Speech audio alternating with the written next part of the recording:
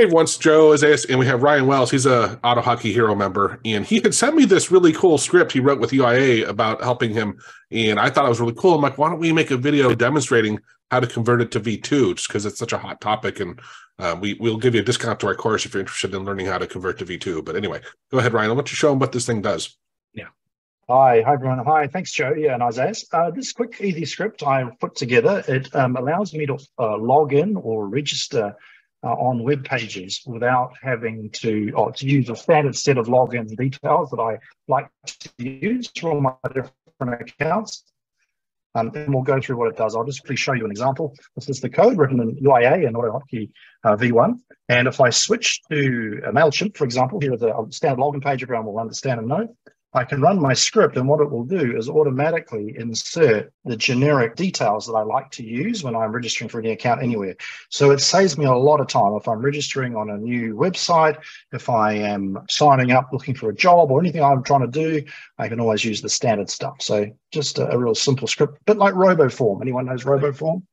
Uh, that's what this does. And now I was gonna say, like I use, for example, the Google Alt autofill, but there's sometimes that there's some forms that the autofill doesn't take it. Right. And I, maybe this is uh, a good solution for that because it's not always that they work as intended. So I get what you're doing, and uh, I understood correctly. You were using the UIA interface, right? That's right, Isaias. And the other reason I like using AutoHotkey for this is I can make it dynamic. So yes. I can make uh, my username and password anything I want it to be or any other fields right. based on any other uh, functions I want to write in my AutoHotkey code. I was going to say, I, would personally have a, a, different hotkey with two or three different profiles that I would just be able to choose. Yes very simply, right? Like that's great idea, Joe. Yeah, so you could have your business login details, and you could have or registration details, and your personal ones, for example. So let's go ahead and take a look at how it would look on the part of going ahead and um, converting it to V2 code. So if you allow me, you can stop sharing yeah, there, so I can go ahead and share here. But the fun part of this, right, is we're converting it to V2, but the thing is, Descolada has restructured the V2 library so this is where you gotta like you know mileage yeah. may vary as far as right. There's there's two sections to this. So um, there's two parts to this. Let me see. Uh, can you see my screen? Yeah. Can you zoom in some? Yeah, sure. So the first thing you will notice here is that if you have the AutoHotkey V2 language selected on this file, you will start getting a lot of little um, red lines indicating different types of problems. And there is a part on your uh, VS Code that allows you to look at the problems. Uh, I have it here on the right side. It's not really um, needed to be there, but I like it there mm-hmm. because I see kind of a, like a list. So this is the problems that we have. You can click on them and it would jump to the line. So this is very quick. Uh, it's good for quickly fixing stuff. And usually you have kind of like a little description of what is going on. So probably if you're converting stuff, it will be easy for you to follow along and see what is going on. Now, the one of the issues here has to do with the location of the libraries. So these two are not going to be fixed for now because I do not have the library directly on my computer. But if I add this file, if I include that, it would be that file the UIA interface is no longer called UIA interface, it's just UIA.ahk, and the UIA browser stays the same. So that's the only thing that you have to do. Set title match mode. So set title match mode now it defaults not, to two, right? It defaults to two, but what is complaining about is that comma that you have right there. And you will have it for many other commands. In V1, you usually put those commas there. You can remove the comma and you're good to go with most of them. The other thing that I would take care is text. So this in V1 was actually text. Now everything is an expression. So you have to enclose it either in single quotes or double quotes. Um, I like the single quotes because I don't have to press shift to do the quotes. I just press one key and it is just quoted. As you can tell, those are the main changes. Everything is an expression, so I don't need to force expressions anymore. That's the same. And after that, let me see what else is going on in here. Yeah, this is the last problem we have, which is uh, the hotkeys now need you to put the um, brackets to tell where the hotkey starts and where it ends. That's the new way of doing hotkeys. After that, everything else looks like it's totally fine. So, so now here's the thing. Um, that's the main difference in our hotkey language. Now, some of them, like winget title, I don't know if you remember that you were putting title here as a parameter. So as a variable that would take the title of the right. window, right? Now, how you do that is actually using it as a function. And I think people might be um, familiarized with just using a function and then just having this. It's yeah. the same way, but now you do not have a specific parameter that takes the thing you just put it in a variable like you would in it, you know what it is? When i first wrote the excel function library i had i had built it kind of like the way your original one was. And then later i changed it to this because it's just clearer. Like it's just, yeah i'm, I'm just thinking that thing and storing it yeah. there. Yeah definitely. Very cool. Right. So that's one of the main changes that you will see. So after i look at this um, i see the tooltip. It doesn't matter. The tooltip is exactly the same as before but now this is a um, an expression, so I don't need to force an expression. Clearer right there. And everything else just has to do with the UIA library. So uh, two changes that I know about the UIA library is that here, instead of find first by name and whatever, what you would use is a different function. It's called find elements. Oh, sorry, I wanted to look. Yeah, I think that's how you have to do it in UIA now. I there is no let me see. Yeah, it is just find first. Okay. So, so now how it works is that you're going to put in here the condition, which is what you were doing, kind of like a conditional thing. But let me remove this part. We don't need it anymore. Take this out. So the condition here, what happens here is that usually you had to pass what type of control you were passing here. That changed a little bit. I will not go too much into it, but basically what you would pass is an object. And for the, if I remember, control type is more or less how it goes, you would put edit. And for the name, you would put the text that you just had, right? That's it. You don't need none of this.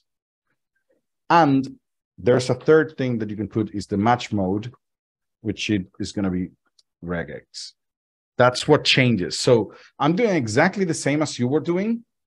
The only difference is that things are now key value pairs. So what you had in a parameter like this now is a specific key or probably is localized control type or something like that. It's actually have... easier to read as well, as Joe was saying. It's easy. It's more right. intuitive, actually. Actually, it depends on how you write it down and I actually like to just put it like this. You will see, and I would just, sorry, well, here. And that would let me know that for the localized type, I have my edit. For the name, I have whatever I need. And for my match mode, I have regular expression. And after I finish finding that object, then I just set the value that I want into.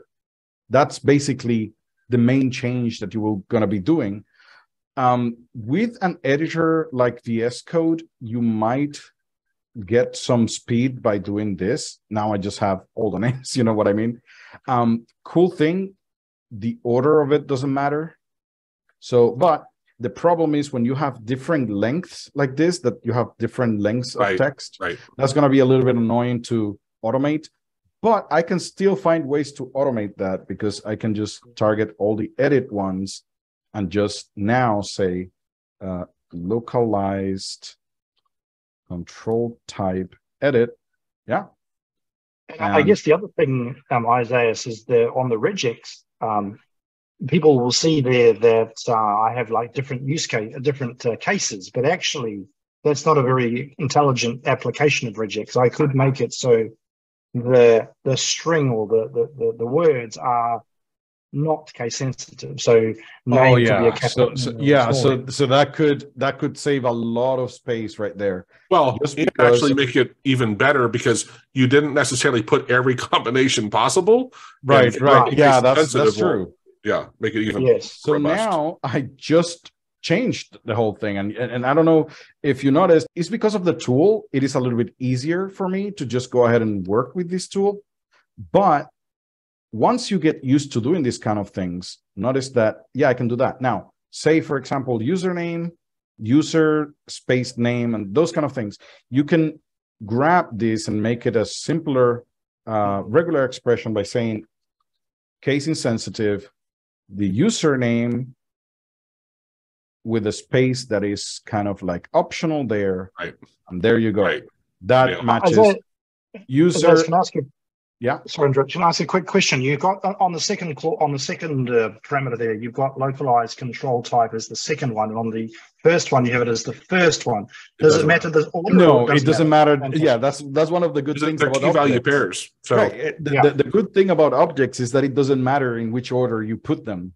That's one of the great things about objects. They However- are in, in invariable, uh, and and when I need to access localized control type, it doesn't matter where it is. I just name it. Right. However, what I was going to say was if you were keeping this on one line, now that it's structured in the um in the key value pairs, if you were to put like your regex at the beginning, all of the beginnings would all line up. Right. So- exactly. so So, so, when so, I put all my things is- that line up, yeah, It's easier for Yeah. humans to see the pattern, not the right. you know the script. Yeah. That's right. That's Yeah. right. Now you you you hit on on on the nail there. It is kind of like I get used to doing it on the same way all the time. And this is the cool thing about V2. Um, it allows you to kind of like have the parentheses and the brackets in their own lines and still works. You see what I mean? So now when I have it like this, now I can switch the location of stuff and the thing will continue working anyway. So Cool. basically, yes, if I have it like that, match mode name, localized control type, I can just do this for all of them, and then they will visually pair um, and would be easier for me to kind of like know what is going on. Well, later modify on, yeah, Right. right. Comma, that's it. So there you go. And, and then all of them start with the same thing. And I could just rewrite these regular expression to be a little bit more, uh, you know, concise. You don't have to try every single thing. That's the point of a regular expression, making it easier to find patterns like this. Yes. So, so in the end, the amount of changes I made are minimal in this Mm. particular script. And Mm. uh, as you noticed, the the changes in in the commands and stuff was not so hard that it was like, oh my god, what am I gonna do? No, it, it was Yes. very simple.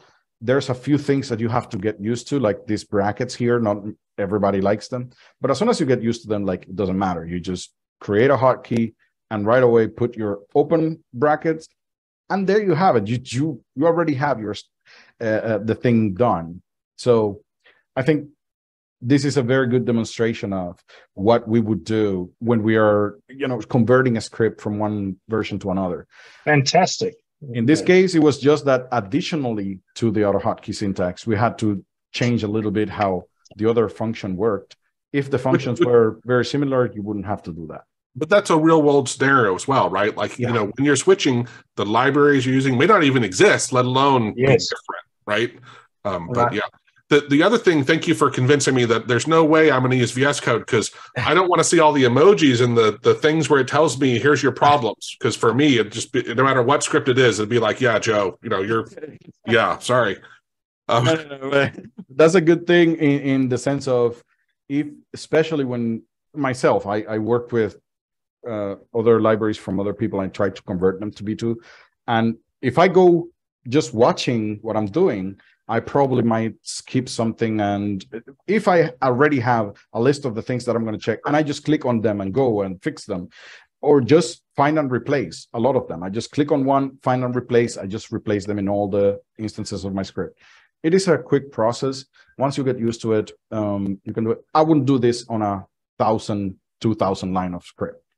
this script short enough for me to take a few minutes, just do it. Uh, the only problem that I'm going to have is testing it. you know, like okay, let's see that it works as I'm thinking it would. That's the only part that I think it would take a little bit more, but converting it, not really. Yeah, we'll we'll at some point finish converting it to, to make it available. So I'll yeah. put the URL up here when that's ready. Uh, but also, our course from learning how to painlessly transition to V2 is available. It's half off right now. So if you want to um, get it now, it's normally 60. I think it's now 30. Uh, but if you use this URL below, you can get it for half off. Um, thank you, Ryan. This is like I said, this was a, a really cool idea in having it, you know, shoving your data into an uh, an object or a profile where I can have different things I wanted, or maybe I have one for my wife or my son, right? Yeah, like, exactly. That's, that's, so cool. Yeah. Yeah, very cool. So th- thanks for demonstrating that. You're welcome. Thank Cheers. you. Hey everyone, we're actually back. The yesterday we recorded the beginning of this video, and then Isaias had a really long call with Descolada, learning some new stuff that he's now, by the way, very close to kind of being done with the alpha version of UIA. So things are getting calming down, but he was going to yeah. walk us through some of the changes that we probably should have considered. Right. Now, this is the thing. Uh, he definitely told me it's not that he's going to be out of alpha. He said that he is already in a state that no major changes to the syntax are going to happen. So I would consider it already beta. So he's right. right now just fixing bugs. Your, your script, I modified it just a tad. Uh, biggest changes were that you had a section and maybe I could share that. Let me see. You had a section in which you were calling several uh, times the same function. Yeah. And usually, when you have code like this that is repeating, the best thing is to just go ahead and do a loop and yep. just take a look at what changes and what is the same. And that's what I did. I just grabbed the things that changed. All your options here that you were having here in your regular expression, mm-hmm. I kind of like condensed them down to uh, smaller regular expressions.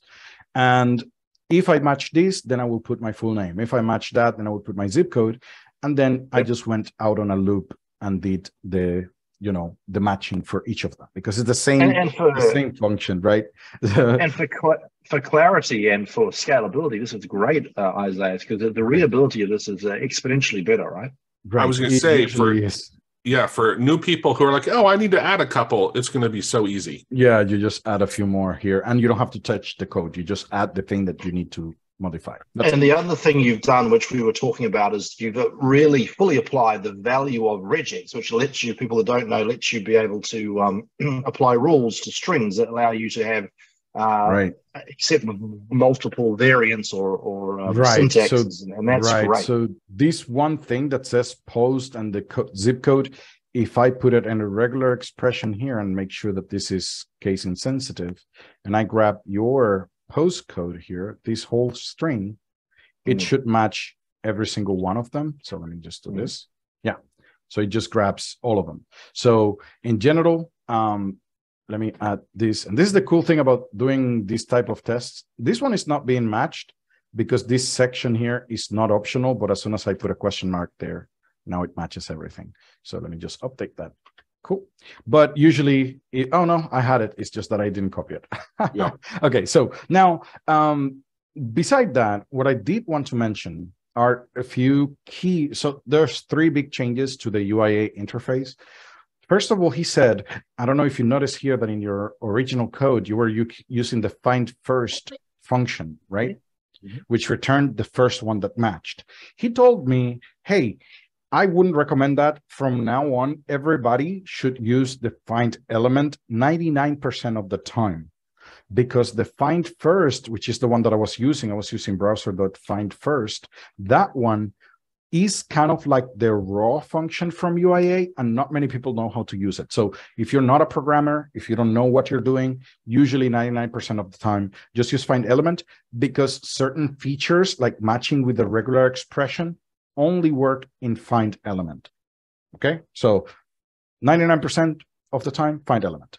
Second thing that he said that um, that is for me worth mentioning is that most functions like this that are considered a command, if you listen to the name like find element, I just told the program find that thing.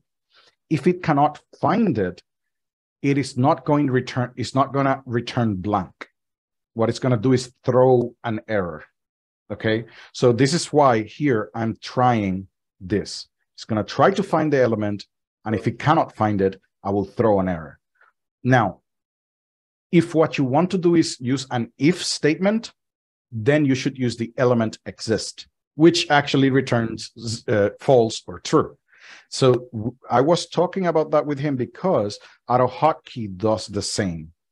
AutoHotkey v2, if you use try, for example, control set text, and you give a control name here, if you if control set text doesn't find the control to set the text to it, it will throw an error. And that and I'm just told him to do to be consistent. Hey, your functions should throw errors if they fail to do what you told yeah. them to. And just to just to loop back to the purpose of the script, and for everyone who remembers, um, I don't know, or the person who uses the script doesn't know the structure of the page and if right. these elements will exist. That's exactly. why find elements exist is so uh, useful here because right. you can conditionally uh, treat those right. objects if they exist and also make sure there's no error if it doesn't run right. because we don't exactly. know until we run it but i'm just making the note if you want to use an if statement use the element exist if you don't want to use an if statement which is what i'm doing down here i'm not using an if statement then i just you can just put a try in front of it just to mm. if you don't find it don't notify me about that. I usually don't recommend that at least output debug debug or something or message or do something but don't ignore the errors which is basically what uh, most people do. That was the second change. And the last change is not really a change it's something that we he explained me how to do. Um, notice that in uh, there's something that i just noticed you see that in your in your um, version you had to get the window title and you were grabbing the active window like this and then after you got it, you pass it to the browser. Now the UIA element, you can put, put any title right here. Like for example, HK uh, exe chrome.exe. Anything that you can use as a window title, you can put it here. Of, you don't have to do the win exist or find element, whatever. You don't have to do that. Um, in that case, if I put A here, is the active window. So what he mentioned, and this is the, the key element for some people, might be relevant. If you're looping through stuff as we are doing here, I'm looping and uh, searching over and over again. As you can tell, I'm using a cache. Now, the cache here uh, is done in two steps. You create a cache request and you pass an array of the things that you want to cache. So instead of grabbing the whole element with all their properties, which is what find element does, it queries the browser for the element with all its properties. What I'm saying is go get me only the name and type of all the descendants and put it in what is called a build updated cache. And that's the request that I'm making. I put it here. And this object that it returns just contains name and type, and that speeds up the process by a lot. Actually, when we were uh, uh, working with this, the original find element version was taking one and a half seconds to complete this loop of 10 elements. So if you're doing like a very big thing, it might take five ten seconds to complete. But as soon as we actually went ahead and built the cache, it did uh, it did in 500 milliseconds. So half a second to do the same amount of work. So it makes sense to learn how to cache stuff like this. It's just two lines of code. But knowing how to use this later on when you're searching in, in the cache, you will use instead of find element, you can use find cached element, which is basically the same function. And you could use, if you don't want to use the cached version, you can use the current one you can use find element if you want, but using the cached version has a, a noticeable improvement in speed. Those are the three things that changed on um, on the version two, which are good for in my case. It's just uh, on the last one, just to understand a bit. So you're basically capturing the elements first, if mm-hmm. I understand. Yes. And then you're interrogating them in the cache. So you've loaded in a in layman's terms, you've created a variable or something in the local memory and then you're interrogating that, and then you're acting on it rather than uh, query ask, query ask, query ask. And No, that- that- that's the speed. I'd add one thing to that, Ryan, because you're you're spot on. What I would just say is you're creating a much smaller subset of the initial of thing. the thing. right? It just Like a contains tiny- a few details, right? Now, be uh, big uh, gotcha with this. You have to always be careful with this. It's the same with the browser. If you go to a web page and there's an element that is cached, and you refresh the page, that element doesn't change. Even if it changed on the server, as you're looking at a cache thing, it doesn't change. That's why people say, "Hey, you have to clear your cache." to see the changes, right? The same happens here. After I build the cache, anything that I query is kind of like an older version of the Yeah. active Mm. thing, right? So Mm, the mm. browser element has the current and, you, and when you do the find element, you're looking for stuff that are currently in the browser. But if you have a cached version and some elements changed, you're not going to see the change in this list. So you have to be careful with that. In my case, every time I press the control F6, I just go ahead and build the cache, right? So that is part of um, the the idea. Hey, just build the cache just by having just two um, properties instead of all of them. well, Mm. is, It will make it easier. have do you have any idea when you say two instead of all of them? How do you have any idea? Is it twenty? Is all of them twenty? Is it fifty? Oh Like, no, no, no, no, no, no, no. Let Okay. me let me let me show you. Well, if Yeah. you do a dump all, I guess you see everything, right? It's massive. Not only that, no, no, no, because we're talking about a property. So so let me share, Mhm. let me show you very quickly what I'm referring Yeah, to. for a here. given element, there's Right. So this Yeah. is my element, and each element Mm, has a list Right. of properties, right? And I'm just showing you the ones that have five, maybe. information. No, Yeah. but no, no. If I show all of them, oh, okay. this is the Wow. list of all of the things that you can Wow. see. okay. So it is a very big list. And that's the problem why searching is so slow sometimes, because there's so many properties. And the- Mm. whenever you do the find element, it's checking for at least one of those Clever, properties. clever Right. idea. So So it has to just to, just to Yeah. come back quickly to your or Joe's point about the dynamic uh, page structure. So, so you guys are talking about the page elements changing, are you, as opposed to the Right. data? So the data, the data could change in real time. Maybe it's a, like a stock price or something. But as long as, but the gotcha that you mentioned. Oh. uh, element got added. Is that right? No, the element, well, the, the information from the element. So let's say that I build a Okay. cache right now. So let's say that I build a cache right now, and the name of this thing or the text of it says search, right? If and and I just cached that, and and just think about a cache as a snapshot. So I take a snapshot of how the elements are right now, but if I change that, my snapshot is not changing, right? So if you try to search, it's not going to have the Right. updated values for that property because it's just a snapshot Okay. in time of that So time. it's the values and the parameter. So essentially, in, in, in lay terms, what we're seeing on the screen, for example, so it's the parameter and the and their property, like the value and the property yeah, that gets yeah. saved to the cache. Yep. Well, the value. Gotcha. Now, I'm going to Yeah. give you a very interesting. Uh, I think you're going to get it right away. So right now, as I'm hovering, I I will see. Let me just use the ones that have values, right? So, does name have a value? Oh. Okay. So notice how this guy has a name called. Right.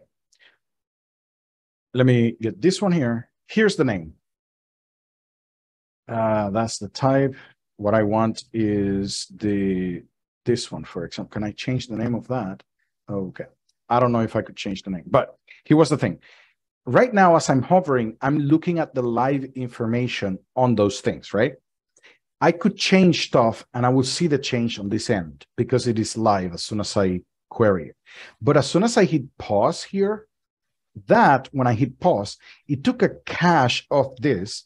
And even if I make changes to this thing uh, right now, so if I say this, I just removed it, this will stay there, it's cached. You see what I mean? So if I go ahead and press continue and I try to look for it, um, it's going to change because there's a difference between the live version of it, whatever changes that are happening right now, and the cached version. And that's the thing that you have to keep in mind. If you have something cached, any changes that happen that you're not aware of might not be reflected on your snapshot. So And- be careful with that.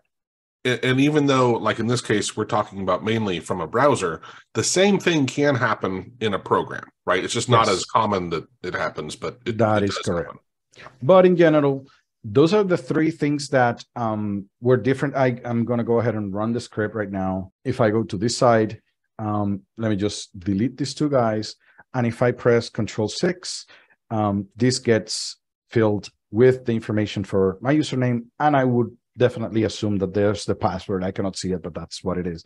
So it took, found the elements, and then it used my username for the username and very likely the password for that field. Very So- good, Jose. Yeah, the, the script is working fine. Uh, as far as we can tell, of course, it needs a little bit more testing or whatever, but I can give you this uh, this script so you can take a look at it. You will notice that the difference between what you did and what I'm doing is not like, at least in the AutoHotkey syntax, is very similar. What did change is the UIA library syntax, which is different, Yeah. right? That, that you, we have to keep those two in mind. The libraries and the AutoHotkey syntax are two different things. Brilliant. Thank you so much. It's a great explanation and really interesting to see those improvements and the challenges and the opportunities around AutoHotkey and UIA uh, updates. That's great. Yeah, thanks everyone. I'll put a um, link to our UIA page, which we have a lot of videos on. Uh, but of course, things are changing, so, so we're gonna have to go back and Yeah. redo some of this stuff. Yeah, uh, that's right.